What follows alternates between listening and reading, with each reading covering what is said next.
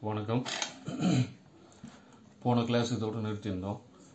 ஓ, ஒரு ஜென்ரேட்டருங்கிறது ஒன்று இந்த டைப் ஆஃப் அரேஞ்ச்மெண்ட் பண்ணலாம். இது டிசி ஜென்ரேட்டர்ஸில் இந்த டைப் ஆஃப் அரேஞ்ச்மெண்ட் பண்ணுறோம் ஃபீல்டு சிஸ்டம் வந்து ஸ்டேஷ்னரியாக இருக்குது. இம்மூவபுளில் அதாவது it is in the stator and armature வந்து சுத்துற பகுதியாக இருக்குது. It is on the rotor இந்த ரோ ஆர்மேச்சரை வந்து ப்ரைம் யூஸ் பண்ணி ரொட்டேட் பண்ணுறோம் அவங்க ஏசி ஜென்ரேட்டர்ஸில் போன கிளாஸில் சொன்ன மாதிரி we are not going to follow this sort of arrangement will be following this sort of arrangement இதில் என்ன பண்ணுறோம் we are making the field rotate field system எங்கே வந்துடுது ரோட்டாரில் வந்துடுது it is on the rotor and அதை prime வச்சு rotate பண்ணுறோம் and armature is on the stator it is the stationary part now this is going to be followed for all AC generators இதை வச்சு actual construction எப்படி பண்ணுறாங்க அப்படிங்கிறதுக்கு போனோம்னா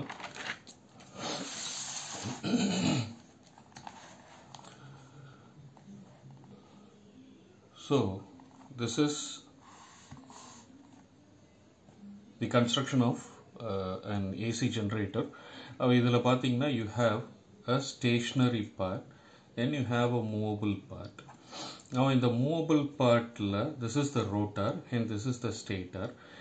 Uh, on the rotor you have the shaft shaft மேலே ரெண்டு slip rings mount பண்ணியிருக்கிறாங்க and இந்த ஸ்லிப் ரிங்ஸ் வந்து இந்த ஷாஃப்ட் ரொட்டேட் ஆகுறப்போ இந்த ஷாஃப்ட் கூடயே சேர்ந்து ரொட்டேட் ஆகுது அண்ட் இந்த ப்ரஷஸ் கார்பன் ப்ரஷஸ் வச்சுருக்குறாங்க இந்த carbon brushes are always in contact with the slip rings but இதெல்லாம் ஃபிக்ஸட் இது வந்து மூவ் ஆகாது.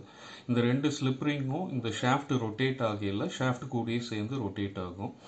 அண்ட் இந்த ப்ரஷஸ் ஆர் ஃபிக்ஸட் இது எக்ஸ்டர்னல் சர்க்கியூட்டில் வந்துடுது மோட்டருக்குள்ளே வர பகுதிகள் கிடையாது. மோட்டருக்கு வெளியே இருக்க பகுதிகள் these are fixed these are stationary the the brushes don't move இந்த ப்ரஷஸ் அண்ட் ஸ்லிப்ரிங் இதோட பர்பஸ் எதுக்கு அப்படின்னா இந்த ரோட்டார் சர்க்கியூட்டை வெளியே எக்ஸ்டர்னல் சர்க்கியூட்டோட கனெக்ட் பண்ணுறது தான் இதோட purpose slip ring and brush assembly connects the external circuit to the rotating circuit இப்போது Uh, ரோட்டாரில் uh, ஆக ப்ரீவியஸாக வந்து வி கால்டு அப்போ இந்த இடத்துல ஒரு நார்த் போல் வரும் சவுத் போல் வரும். மேக்னெட்ஸ் ஃபீல்டு சிஸ்டம் வந்து ரொட்டேட் பண்ணுறோம்னு சொல்லியிருந்தோம். ஃபீல்டு சிஸ்டம்ங்கிறது என்னது? மேக்னெட்டிக் ஃபீல்டை க்ரியேட் பண்ணக்கூடிய சிஸ்டம் மேக்னெட்டிக் ஃபீல்டு எதனால் க்ரியேட் ஆகுது? They can be either created by permanent magnets or they can be created by electromagnets. நான் permanent magnets ஒரு வெரி காஸ்ட்லி யூஸ்வலாக பர்மனன்ட் மேக்னெட்ஸ் வந்து ரொம்ப ரேர் மிஷின்ஸ்க்கு தான் வந்து ரேர் டைப் ஆஃப் மெஷின்ஸ்க்கு தான் வந்து பர்மனன்ட் மேக்னெட்ஸ் போவோம் இந்த மாதிரி ஜென்ரலாக ஆல்டர்னேட்டர்ஸ் இந்த மாதிரி கேசஸ்க்கு வந்து வி கோயின் ஃபார் எலக்ட்ரோமேக்னெட் எலக்ட்ரோமேக்னெட்டுங்கிறது என்னது? சாதாரண ஒரு இரும்பு துண்டை எடுத்து அது மேலே வைண்டிங் கொடு வைண்டிங் சுற்றி சப்ளை கொடுத்தோம்னா அந்த இரும்பு துண்டு is converted into a magnet right இரும்பாக இருக்கலாம் ஸ்டீலாக இருக்கலாம். ஆல் தோஸ் திங்ஸ் இப்போ இந்த கேஸில் பர்டிகுலராக they are using rotor steel ரோட்டாரோட இந்த core is made up of hysteresis steel and இந்த ஸ்டீல் மேலே என்ன சுற்றிருக்காங்க வைண்டிங் சுற்றிருக்காங்க அண்ட் இந்த வைண்டிங்க்கு என்ன பண்ணுறாங்க they are giving supply right இங்கே ஒரு வைண்டிங் ஒரு ஸ்லிப்ரிங் மேலே ஒரே வைண்டிங் தான். ஒரே வைண்டிங் எடுத்து மேலே சுற்றிட்டு அதே வைண்டிங்கை கொண்டு போய் கீழே சுற்றிட்டு ஒயர் வெளியே வந்துடுது ஸோ யூ ஹாவ் ரெண்டு எண்டு வரும்.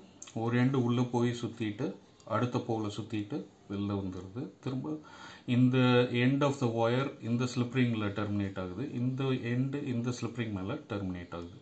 ஸோ இதுக்கு நான் டிசி சப்ளை கொடுக்கணும். ஏன்னா உள்ளே க்ரியேட் ஆகிற ஃபீல்டு ஆல்டர்னேட்டிங் ஃபீல்டு எனக்கு தேவையில்லை உள்ளே. எனக்கு உள்ளே என்ன ஃபீல்டு தேவைன்னா ஸ்டேஷ்னரி ஃபீல்டு தேவை.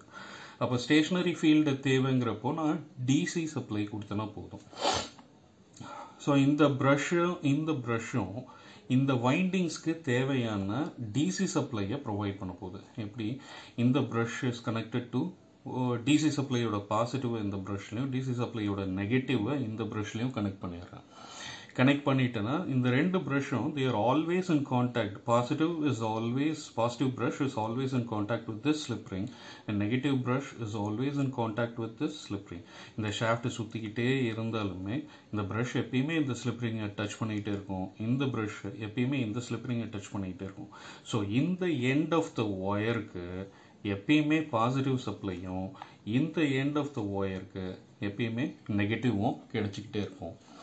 ரைட் ஸோ இதன் மூலமாக நான் என்ன பண்ணுறேன் உள்ளுக்குள்ளே இருக்க ரொட்டேட்டிங் பார்ட்டில் இருக்கக்கூடிய ஃபீல்டு சிஸ்டம்க்கு எக்ஸ்டர்னலாக இருந்து என்னால் டிசி சப்ளை கொடுக்க முடியுது ஒன்ஸ் இது வழியாக கரண்ட் ஃப்ளோ ஆக ஆரம்பிச்சிருச்சுன்னா கரண்ட் எங்கேருந்து இங்கேருந்து இட் ஸ்டார்ட்ஸ் ஃப்ளோயிங் ப்ரஷ் வழியாக ஸ்லிப்பரிங் வழியாக இந்த வைண்டிங்குள்ளே ஃப்ளோ ஆக ஆரம்பிக்குது. So current starts flowing into the winding and அப்படியே சுற்றிட்டு current gets out of the winding இந்த ஸ்லிப்பரிங்கை ரீச் பண்ணி இந்த நெகட்டிவ் ப்ரஷ் வழியாக the circuit is closed the DC circuit is closed அப்போ once DC current starts flowing this is converted into an electromagnet And இது north pole ஆகும். Depending upon தி வைண்டிங்கோட டைரக்ஷனை பொறுத்து current flow இந்த வைண்டிங்கை பொறுத்து இது நார்த் போல் ஆகவும் இது சவுத் போல் ஆகவும் ஃபார்ம் ஆகலாம். அல்லது இது சவுத் போல் ஆகவும் இது நார்த் போல் ஆகவும் ஃபார்ம் ஆகலாம். இதெல்லாம் எதை பொறுத்து இருக்குதுன்னா நான் இதில் சுற்றுற வைண்டிங்கோட டைரக்ஷனை பொறுத்து அண்ட் கரண்ட் ஃப்ளோவோட டைரக்ஷனை பொறுத்து எந்த சைடு நார்த் போல் ஆகவும் எந்த சைடு சவுத் போல் ஆகவும் ஃபார்ம் ஆகும். அப்படிங்கிறது இருக்குது. வென் யூ அப்சர்வ் இந்த ஷாஃப்டோட இந்த பகுதியை நான் எதை வச்சு ரொட்டேட் பண்ணுறேன் ப்ரைம் மூவர் வச்சு நான் ரொட்டேட் பண்ணுறேன் this is a prime mover and இது இப்போ சின்னதாக காமிச்சிருக்கேன் but prime movers are very massive structures அவன் அதை வச்சு இந்த ஷாஃப்டை நான் ரொட்டேட் பண்ணுறேன் அவன் இந்த shaft rotates the entire field system rotates entire rotor சுற்றுது என்டையர் ஃபீல்டு சிஸ்டம் வந்து சுற்ற ஆரம்பிச்சது இது ப்ரொடியூஸ் பண்ணுற மேக்னெட்டிக் ஃபீல்டு நிலையாக நிற்கிறது தான் ஒரே இடத்துல நிற்கிறது தான் ஆனால் நான் இதை சுற்றுறதால ப்ரைமூவர் வச்சு நான் இந்த என்டையர் ஷாஃப்டை சுற்றுறதால இங்கே ப்ரோ இந்த ஃபீல்டு இந்த என்டையர் ஃபீல்டு சிஸ்டமே என்னாக ஆரம்பிக்குது? ரொட்டேட் ஆக ஆரம்பிக்குது. ஓகே இது rotor when you come to stator ஸ்டேட்டாருங்கிறது வந்து ஒரு ஹாலோ சிலிண்ட்ரிக்கல் கன்ஸ்ட்ரக்ஷன் அதாவது ஒரு சிலிண்டர் சிலிண்டருக்குள்ளே எதுவுமே இல்லை. அதுக்குள்ளே தான் ரோட்டார் இஸ் கெப்ட் இதில் வந்து நான் போன கேஸில் நீங்கள் பார்த்த மாதிரி ஒரே ஒரு கண்டக்டர் மட்டும் காமிச்சிருக்கேன். சின்ஸ் இதை ஃபாலோ பண்ணணும் அப்படிங்க இதே மாதிரி இருக்கணும் அப்படிங்கிற பர்பஸ்க்காக நான் இங்கே என்ன பண்ணியிருக்கேன்னா ஒரே ஒரு வைண்டிங் மட்டும் ஆர்மேச்சர் வைண்டிங்கை இங்கேயும் காமிச்சிருக்கேன். ஸோ இங்கேயும் பார்த்தீங்கன்னா போன ப்ரீவியஸ் ஃபிகரில் இருக்கிற மாதிரி ஒரே ஒரு டேர்ன் மட்டும்தான் காமிச்சிருக்கேன். This is a simple loop ஒரே ஒரு லூப் அது. ரைட் மேலே ஒரு ஸ்லாட் இருக்குது. கீழே ஒரு ஸ்லாட் இருக்குது அண்ட் இந்த ஸ்லாட்டில் நான் ஆர்மேச்சர் வைண்டிங்கை சுற்றிருக்கேன் ஆர்மேச்சர் வைண்டிங்கோட ரெண்டு எண்ட்ஸ் இருக்கு இல்லையா? இந்த ரெண்டு எண்ட்ஸும் தே ஆர் ஃப்ரீ அண்ட் இதுலேருந்து தான் நம்ம ஆக்சுவல் அவுட்புட் வந்து எக்ஸ்டர்னல் சர்க்கியூட்டுக்கு எடுத்து போகிறோம் ஸோ இந்த ரோட்டார் சுற்றுறப்போ இந்த வைண்டிங்லேயும் இந்த வைண்டிங்லேயும் Faraday's law of electromagnetic induction படி இஎம்எஃப் இன்டியூஸ் ஆகுது. அண்ட் இங்கே ஏதாவது ஒரு லோடு போட்டு கம்ப்ளீட் பண்ணுறோம் சர்க்கியூட்டை க்ளோஸ் பண்ணுறோம் அப்படின்னா armature circuit forms is a closed circuit அப்போது நான் இந்த ப்ரைம் மூவர் வச்சு இந்த ரோட்டாரை சுற்றுறப்போ மேக்னெட்டிக் ஃபீல்டு மூவ் ஆகுது. ஆர்மேச்சர் கண்டக்டர்ஸ் ஸ்டேஷ்னரியாக இருக்குது. அப்போ Faraday's law of electromagnetic induction படி கண்டக்டர் ஸ்டேஷ்னரியாக இருந்து மேக்னெட்டிக் ஃபீல்டு மூவ் மூவ் ஆச்சு அப்படின்னா இந்த கண்டக்டர்ஸில் இஎம்எஃப் இன்டியூஸ் ஆகுது. அண்ட் இந்த க்ளோஸ்டு ஆர்மேச்சர் கண்டக்டர்ஸில் இஎம்எஃப் இன்டியூஸ் ஆயிடுச்சு. And armature forms a closed circuit electrical load போட்டு க்ளோஸ் பண்ணிங்கன்னா இந்த டெர்மினல்ஸை எலக்ட்ரிக்கல் லோடு போட்டு க்ளோஸ் பண்ணோம்னா armature conductors form a closed circuit and இது சுற்றுறப்போ இதில் ஒரு இஎம்எஃப் இன்டியூஸ் ஆகுது. Armature conductor forms a closed circuit அப்போ இஎம்எஃப் இன்டியூஸ் ஆகிருக்கு எதில்? ஒரு க்ளோஸ்டு சர்க்கியூட்டில் அப்போ என்ன ஃப்ளோ ஆக ஆரம்பிக்குது? A current will start flowing a current starts flowing in the armature conductors. So இப்படி தான் நம்ம வந்து எலக்ட்ரிக்கல் இப்போ அவுட்புட் வந்து ஜென்ரேட்டர்லேருந்து எடுத்துக்கிறோம்.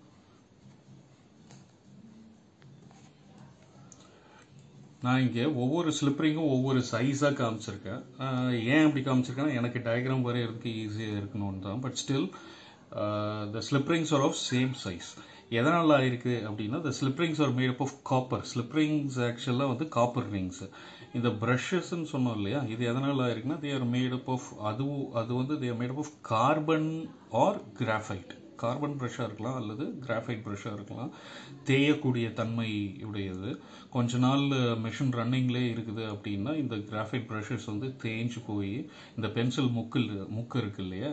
இந்த பென்சிலோட முக்கு it is made up of graphite so இந்த brushes are also the are made up of graphite oh sometimes they are made up of கார்பனோ கிராஃபைட்டோ ரெண்டுக்குமே தேயக்கூடிய தன்மை இருக்குது. ஸோ கொஞ்ச நாளைக்கு அப்புறம் இந்த brushes தேஞ்சிரும். We need to replace them at regular intervals and இங்கே இந்த ஃபீல்டு சிஸ்டம் காமிச்சிருக்கேன் இந்த ஃபீல்ட் சிஸ்டமில் இவன் ஆஸ் யூ கேன் சி இந்த பகுதி இருக்கு இல்லையா this portion this portion is called pole core this portion is called pole core and மேலே இருக்க இந்த portion is called pole shoe this is pole core and this is pole shoe pole கோரில் தான் வந்து ஃபீல்ட் வைண்டிங்ஸ் சுற்றுறாங்க and pole shoe எதுக்காக பண்ணியிருக்காங்கன்னா to distribute the field magnetic ஃபீல்டை வந்து circumference over the entire circumference யூனிஃபார்மாக magnetic ஃபீல்டை distribute பண்ணணுங்கிற பர்பஸ்க்காக தான் போல் ஷூவை இந்த மாதிரி டிசைன் பண்ணியிருப்பாங்க. போல் கோரோட அகலமாக இருக்கிற மாதிரி போல் ஷூவை வந்து டிசைன் பண்ணியிருக்காங்க. It is to distribute the magnetic field over the entire periphery right simplicity பர்பஸ்க்காக ஆர்மேச்சரில் ரெண்டே ரெண்டு ஸ்லாட் கட் பண்ணி ஒரு வைண்டிங் நான் சுற்றி இருக்கிறேன் பட் ஆக்சுவலாக ரெண்டே ரெண்டு ஸ்லாட் மட்டும் இருக்க போகிறது கிடையாது. ஒரே ஒரு காயில் மட்டும் இருக்க போகிறது கிடையாது. ஆர் ஸ்டேட்டரோட சர்ஃபேஸ் ஃபுல்லாகவே ஸ்லாட்ஸ் கட் பண்ணியிருப்பாங்க. இதை மாதிரி கண்டினியூஸாக ஸ்லாட்ஸ் கட் பண்ணியிருப்பாங்க. ஓவர் த இன்னர் பெரிஃபரி ஃபுல்லாக இது வந்து அவுட்டர் பெரிஃபரி வெளிப்பக்கம். இது வந்து இன்னர் பெரிஃபரி உள்பக்கம். ஸ்டேட்டார் கோரோட உள்பக்கம் ஃபுல்லாகவே இதே மாதிரியே ஸ்லாட்ஸ் கட் பண்ணி மல்டிபிள் காயில்ஸ் வச்சுருப்பாங்க. அண்ட் அந்த காயில்ஸ் எல்லாம் they are wound for three phase அதாவது இது மாதிரி நிறைய ஸ்லாட்ஸ் கட் பண்ணி இன்னர் பெரிஃபரியில் மல்டிபிள் ஸ்லாட்ஸ் கட் பண்ணி அந்த ஸ்லாட்ஸில் என்ன வைண்டிங் வைக்கிறாங்க? இது த்ரீ ஃபேஸ் ஆல்டர்னேட்டராக இருந்துச்சுன்னா த்ரீ ஃபேஸ் வைண்டிங் வைப்பாங்க. இது சிங்கிள் ஃபேஸ் ஆல்டர்னேட்டராக இருந்துச்சுன்னா சிங்கிள் ஃபேஸ் வைண்டிங் வச்சுருப்பாங்க. அண்ட் த்ரீ ஃபேஸ் வைண்டிங்காக இருக்கும் பட்சத்தில் மோஸ்ட்டாக alternators are connected in star